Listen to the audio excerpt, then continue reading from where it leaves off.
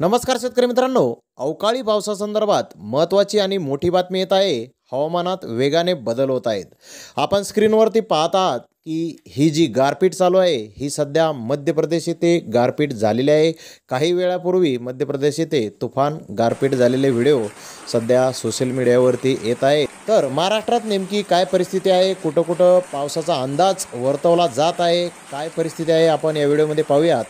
मराठवाड्याच्या परिसरात चक्रीय वाऱ्याची स्थिती तयार झाली आहे.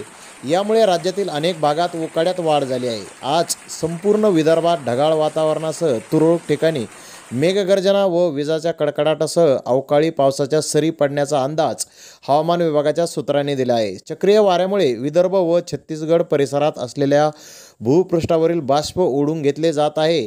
राज्यातील अनेक भागात बुधवारपासून ढगाळ वातावरण तयार झाले आहे. वाढत्या उकाड्यामुळे कमाल तापमानात चांगलीच वाढ झाली आहे. कमाल तापमानाबरोबर किमान तापमानातही बऱ्यापैकी वाढ झाली आहे. तर विदर्भात नेमकी कुठे कुठे पावसाची शक्यता आहे आपण पाहूयात.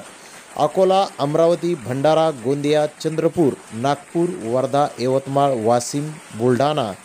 तर शनिवारी अकोला अमरावती भंडारा गोंदिया चंद्रपूर नागपूर वर्धा यवतमाळ वाशिम बुलढाणा या ठिकाणी अवकाळी पाऊस हा पडू शकतो. तर धन्यवाद मित्रांनो आपण माझा व्हिडिओ शेवटपर्यंत पाहिल्याबद्दल. व्हिडिओ आवडल्यास लाईक करा शेअर